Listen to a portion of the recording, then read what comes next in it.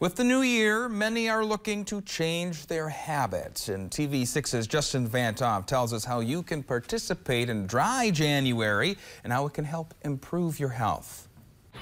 Dry January is a challenge where for the month of January, you don't consume any alcohol.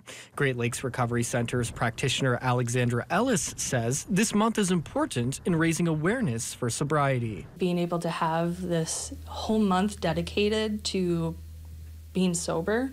And I think that's a, an amazing thing. Ellis says being alcohol free can help change your mindset. Instead of looking at it as I'm avoiding alcohol, it's I'm building a healthier relationship to alcohol or maybe a healthier lifestyle.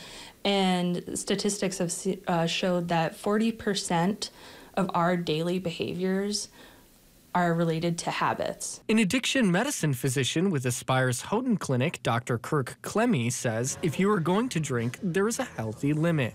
For a woman, are no more than three drinks in any one day and no more than seven drinks in a week. So you have to fulfill both criteria for to for uh, to be considered safe drinking. For a man, it's no more than four drinks in any one day, and no more than 14 drinks in a week. Klemme says if you or a loved one is participating in Dry January, to try and remove any additional stressors from your home, not cope with other substances, and if you're going to a party, to try alcohol alternatives like mocktails.